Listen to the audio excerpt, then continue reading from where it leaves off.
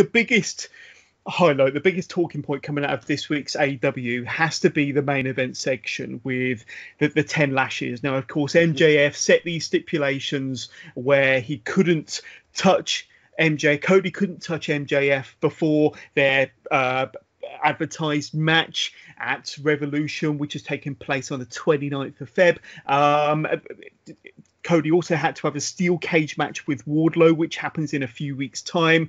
Um, I think that's possibly a week or two weeks before the pay per view. And then, of course, the other stipulation, the big stipulation, the one we're going to be talking about now, is that Cody had to take 10 lashes uh, from MJF. And he had to, Cody has to abide by these stipulations in order to be able to finally get his hands on MJF and get the match at Revolution. But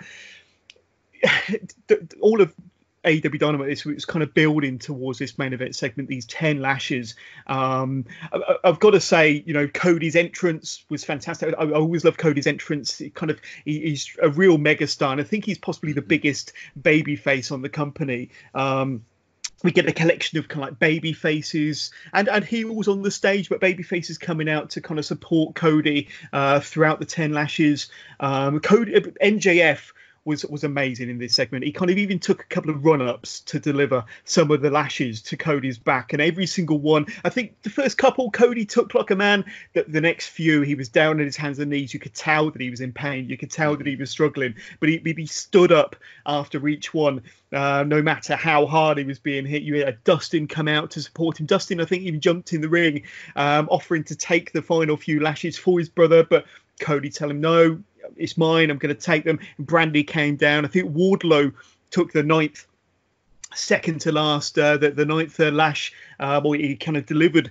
the ninth lash and then um, uh, uh, uh MJF delivered the final one across the across the chest he did look it was quite high it's possibly closer to the neck region but it was described as being across the chest of, of Cody before getting out of dodge and tailing through the crowd. Um, they were being chased down by some wrestlers. I think even a fan got involved, and I think he got beat down by MJF and Wardlow at the kind of the top of the steps. But this was a really, really amazing segment Max, I'm sure you'll agree. It was something that we, we kind of haven't really seen, not, not something we're used to in the wrestling business. You could probably hark back to maybe the extreme era of ECW when they would do canings and things like this. Uh, but you're talking 20, 25 years ago since we've seen anything remotely similar on, on a mainstream wrestling pro- uh, product anyway. You've possibly got your hardcore groups or your indie groups that might have done something similar that I'm not aware of. But when you've got Cody on the screen, it's always gold when you've got MJF on the screen, it's always gold. These two have built this feud to a, a, pinnacle now where you just can't wait for the two of them to meet. And you've still got the steel cage match between Cody and Wardlow um, to, to go in a couple of weeks time. But give us your kind of perspective on what happened in this main event section of this week's AEW Dynamite. The 10 lashes. Um, I thought all the participants in this knocked it out the park and I thought it was well, one of the best segments on a wrestling show I've seen in a long, long time. But give us your thoughts and feelings on this one, then, Mags. Yeah, I wholeheartedly agree. It was by far the best segment of of the week in wrestling for me. Um, again, it, it's just the what what gets me with AEW is the nuances. It's not so much like the bigger picture; it's the, those little details. Uh, if you uh, recall a while ago, Cody did a promo where uh, he was saying about when he reached out for people who, who he'd helped, there was nobody there. They were all a little bit preoccupied. And now come back to this this show and everybody wanted to to take those shots for him. Everybody wanted to be like there to help him. And it's those kind of like little moments that that made this so much better of a of a of an already amazing segment. And then i like the um the the kind of like character change of MJF during during the segment. He was having fun at the beginning he was really like enjoying uh, giving it to Cody and, and uh, telling guys like Arn Anderson that they weren't they weren't allowed to get involved, that they couldn't help. But when it got to the the last few, you could see he was getting frustrated that he couldn't break Cody down, mm-hmm. and there was more kind of uh, venom in his shots when uh, especially the last uh, last two or three, the one that, that caught the back of Cody's neck was at, looked absolutely brutal. And the pictures I've seen of it afterwards, it looked like it was getting redder and redder as time went on. Uh, yeah. yeah. I thought the segment was played to perfection. We had the Bucks obviously coming down to try and help. We had Dustin, like you said, came and, and wanted to to take those uh, shots for him. Um, I think this kind of cemented Cody's position as not only the the the, the best babyface in AEW. I think arguably the best babyface in wrestling today. Yeah. Well, I mean, we've still got three weeks until the Revolution pay per view, and I'm sure the storyline is going to build. And we've still got the cage match in a couple of weeks' time between Cody and Wardlow, and you're going to see these two interact every week, I think, up until the pay per view, kind of mm-hmm. getting us more and more hyped for that match. One thought that's kind of crossed my mind: Have they peaked too soon? Do you think? Do you think they should have left this this lash in until closer to the pay per view, maybe the week before the pay per view? Should they have started these stipulations with the cage match? Have they possibly peaked too soon? And how can they top it in the next three weeks before Revolution? Then, Mags. Mm, possibly, you you may be right with that. Uh, there is uh, uh, quite a gap, but in saying that, I thought that they they kind of did the the the the MJF turn a little bit too soon, and, and I've been proven wrong with that. I think they've uh, they've worked this storyline really well, so I'm quietly confident that they've got more tricks in in the bag. I don't think they would have uh, would have uh, basically shot the Lord so early and then yeah. kind of let the fans almost like cool down. I think the the the cage match is going to bring something unexpected. Um, how we're going to get keep that fever pitch up, I don't know. Maybe uh, involving um, Dustin or the Bucks or or even Brandi who came down to try and help. Maybe we could get some kind of um, matches or stories involving them or uh, or even angles or vignettes something like that uh, but i'm i'm positive that they'll they'll keep this going this is their their biggest match of of Revolution. Uh, yeah. So I, I I can't see can't see them failing on this. To be honest, it's just it's too good of a storyline for them to for for them to let this cool down. Yeah, yeah, and, and I love the the chemistry that that um, MJF has with Cody, and I, I, like his kind of chemistry he has with uh, Wardlow as well. I think Wardlow mm-hmm. makes a great henchman. He's he's kind of a bit of a silent assassin, gets involved when he needs to, um, and uh, we've not seen him in a match yet. So I think the steel cage match will possibly be his debut on AEW. Unless I'm mistaken, I don't think I've seen him without his suit off, to be honest with you. But uh, that will be quite good, and I know the individuals involved. They're going to make sure that this doesn't fail and that they, they haven't peaked this past Wednesday, and they're going to keep delivering and giving us more and more and more. Um, so it makes you think that if this is what they're giving us three weeks out from the pay per view, four weeks out from the pay per view, what are they going to give us in the next few weeks um, before Revolution itself? So it's quite exciting, and that that in itself is enough to get people kind of excited and, and kind of wanting to tune in every Wednesday as well to think, what how can they top it? What are they going to do to top it?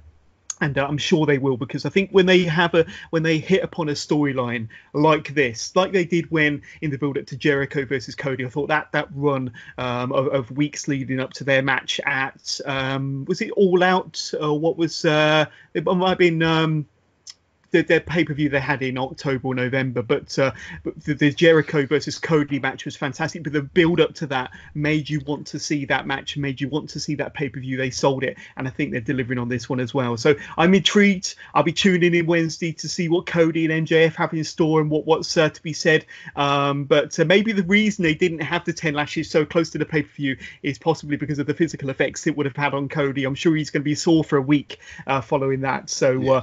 Yeah, but uh, he's going to be even more angry and even more determined when they do finally touch. Um, you know, I, I, think what they're doing here is that they're selling us on the fact that we can't wait to see Cody kick MJF's ass. And yeah, uh, when that happens, I think you know you've got the biggest baby face and you've got the biggest heel um, on on that brand, and uh, they're going to be going at it. And like you said, it is possibly the, the biggest match on the pay per view. Um, mm-hmm. So yeah, I, I can't wait. Um, other highlights uh, from this week's AEW Dynamite: you had a big eight man tag match uh, featuring the Young Bucks, Kenny Omega, and Hangman Adam Page. Of course, Page and Omega are the current AEW Tag Team Champions, going up against the Butcher, the Blade, um, and the Candlestick Maker. No, the Butcher, the Blade, and the, the Lucha Brothers, of course. Um, and this was, you know, it was the heel combo that came out the victors in this after the, the Lucha Brothers hit their Penta Driver and double foot stomp for the eventual win. However, the, the big story coming out of this one is about Adam Page again appearing to you know refuse to tag to tag in the but the Bucks during the match despite having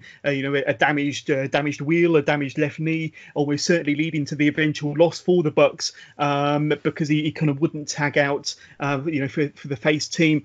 Um, but we see you know Page literally drowning his sorrows with a with a brewski, with a with a lager uh, on the outside with the fans as the Bucks and Omega kind of look on in disappointment, really, as as Page then kind of disappeared through the crowd with a with a brewski in hand. So that's kind of the biggest storyline coming out of all of this, and I think that's um, leading to a tag team championship match next Wednesday because SCU won a, a, number one contenders match uh, against Best Friends. So it'll be SCU looking to regain their championships um, against Omega and Page next Wednesday. But give us your thoughts on kind of what went down here and storyline they're trying to portray with Adam Page. Um, once again, similar to the, the, the MJF and Cody storyline, I think they're playing this very well. It's kind of subtle, maybe not so subtle with the drinking angle, uh, but I think all parties are kind of you know playing their part very well in this angle. But to give us your take on, on what we saw on Wednesday and kind of the bigger picture. Yeah, um, I've I'm I'm not I'm usually a big fan of uh, kind of um, addiction storylines. Uh, we've had it obviously with uh, with uh, Scott Hall when he was uh, when he was really really ill with uh, fighting his demons. So it, it's never something that kind of like I get excited about. But I think they're playing this one really really well. Uh, for my money, they need to keep Adam Page the face in this. They don't. They they need to keep him as as the the, the guy who's who's kind of like suffering because of his drinking, but it's it's you, you need to feel sympathetic to him rather than like kind of like cast him aside. I think, and we've all known that the Bucks have, have always played well as heels. Uh, they they spent a majority of their their indie career as like these cocky, smarmy heels. So um, yeah, I think I think this storyline it, it it needs to be treated with uh, kid gloves. I think um, it can it can easily go over the point of of it being kind of disrespectful to people who are suffering through addiction. Uh, but yeah, I'm I'm again. I mean, it's one of those storylines where I'm I'm quietly confident that the guys know what they're doing and yeah. they know how know how far to take it. Um, I I, I kind of don't like the fact that the the tag titles are being used in in almost like a as a like an afterthought, uh, yeah. uh, just to keep um, to keep Omega and, and Page together. Uh, it kind of made no sense to put the belts on them because it doesn't. That this storyline doesn't really need those belts. To be fair, uh, they they were already an established group uh, before even AEW started, so we could it could have easily been played off about about uh, Page kind of coming away from this uh, this group or feeling a bit kind of frustrated with his position in the group, and and then we could have seen like the likes of the the Lucha Brothers or Best Friends still challenging for those titles. So it kind of holds the, the tag titles in limbo. Maybe we'll get that kind of um, taken out of the picture if we get the SCU picking up the titles uh, in in the in the upcoming match. Um, yeah which which then would kind of make sense because if if Page is the reason why they lose the match because he's uh is inebriated or or the drink has kind of affected him, it, it makes a, a good use of those tag titles, I suppose. But yeah, it's a it's a very very touchy subject, uh, and it's one that, that, so far they've been playing really, really well. But it's one of those where you're always on the precipice of it going like down a bit of a darker route, and I don't really think that they should they should go that way. Yeah, and there was also a, a little bit of comedy involved. I think there was a backstage segment where um, I think it was mm-hmm. members of the elite were kind of lambasting uh, Adam Page for yeah. not tagging out, and uh, you know uh, they said we think we can see what the problem is, and kind of took the beer away from his hand. And then as as, as they disappeared off scene, you, you kind of saw maybe a little bit of remorse on, on Page's face, and then from out of nowhere he lifts up a pitcher filled with uh, filled with beer, filled with lager, just carries on drinking. So uh, that you know, from, it was about five liters as well. Yeah, from a dark subject, I uh, kind of got a little bit of a chuckle out of that, to be honest with you. But uh, there's yeah. one of two ways that this could go, in my opinion. You, are quite right. SCU could regain the, the, the tag team championships next Wednesday. I my gut instinct is telling me that's possibly a bit too soon for SCU to regain the gold. To be honest with you, um, I think they're going to kind of drag this out a little bit, possibly to a match at Revolution, and I wouldn't be surprised if it ends with maybe the Bucks uh, contending for the tag team titles against Omega and Page. I think that that would be kind of the more logical route for uh, you know, the tag team titles to go, you know, down that road to have the elite in one match, the Bucks on one side of the, the ring against Omega and Page, the champions on the other side. And I, I think the Bucks I, I, think they're deserving to be the next AEW Tag Team Champions. Um, but I think that, um, yeah, I, would like to see that match. I, I, am more, I'm more, I'm more interested to see kind of where it goes with Adam Page. Though, is he going to turn full blown heel? Is the is the alcohol going to kind of um, in, impact in in one of their matches, leading to a loss of the titles possibly? Um, you know, is it going to eventually lead to a, a, a big full blown feud between Omega and Adam Page? There's many ways this can go, both with the, the tag title picture and kind of with the singles feud, and all, all the pieces of the puzzle kind of aren't quite in place yet. But I think that's part of the fascination of the storyline is you don't quite know where it's going to go, and uh, there's many ways it could go. Um, but uh, yeah, I'm intrigued to see where this one goes. This is another one that's kind of getting me thinking about uh, another, you know, possible uh, big match at Revolution. Like I say, possibly the Young Bucks versus Omega and Page for the tag team titles. I think if they're going to have a championship match, a tag title championship match at Revolution, I think that's the match it needs to be. But uh, you've just said yourself you'd love to see that match. Um, any kind of um, thoughts on my fantasy booking scenario there, Mags? Yeah, I, I like it, I, and I, I think you hit the nail on the head with the fact that it's the path is not like directly determined. There's many different kind of routes that this could go down. Uh, I would love for it to lead to a, a Bucks versus a Hangman and, and uh, Omega match, and again that then leading to um, um, Omega versus Page match. Yeah, I think uh, some really really interesting booking, and and that's again it's it's one of the good things that that about AEW is how they're keeping the fans engaged and interested because you just you you can kind of you can kind of guess what's going on, but you you just don't quite know where where the stories are going. Yeah, exactly. Um, and then, kind of the final highlight I'm gonna we're gonna talk about now from AEW was actually what kicked it all off this week, and it was uh, uh, Jon Moxley coming out. He had a match with Ortiz from uh, mm-hmm. from uh, I don't know if they call themselves uh, Proud and Powerful anymore, or um, just Santana and Ortiz, as far as I'm concerned. It's a shame they can't use the LAX moniker, but uh, there we go. They're part of the inner circle. But Jon Moxley what, what I really loved uh, to kick things off was uh, Justin Roberts' uh, ring announcement of, of Jon Moxley. I think that's got to be the best uh, uh, ring announcement in, in wrestling at the moment, and he really kind of accentuates the the, the, the John like he yeah. did when he used to uh, introduce John Cena. But it's even more fire behind it now. I absolutely love Justin I, Roberts for that call. I think I think they've even got a T-shirt out with it with him saying like "Jon Moxley." Yeah, what's going it. on? Yeah, no, but I'll have to hunt that one down. That that, that would be a cool T-shirt. But uh, yeah, I mean, it was a fun match. Uh, Moxie getting the win via the, the paradigm shift, getting the one, two, three, and then the storyline going out of this, of course, uh, Jon Moxley refused to be part of the inner circle, kind of uh, accepted, and then and then kind of double crossed uh, Chris Jericho in the inner circle a few weeks back on AEW Dynamite, of course. And uh, I think just before the Jericho cruise, I think on the Dynamite the Wednesday before, didn't Jericho get one of the spikes off of his jacket and yeah. kind of uh, claw away at, at, one of Moxley's eyes. And uh, he's been he's been selling that eye injury, selling that eye patch like a like a like a pro. He's he's really you know kayfabe is not dead to Jon Moxley, and kind of we're out in the street and the Jericho cruise, uh, any sort of photograph you see of him on uh, social media, he's, he's, really rocking that eye patch, and that could be a long term gimmick. You never know.